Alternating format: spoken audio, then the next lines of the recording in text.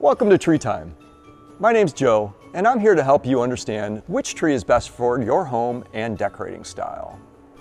This is the Scarsdale spruce. It features a design that's comprised completely of traditional PVC needles. It's a full-size tree, measuring 65 inches in diameter on the 7.5 foot version.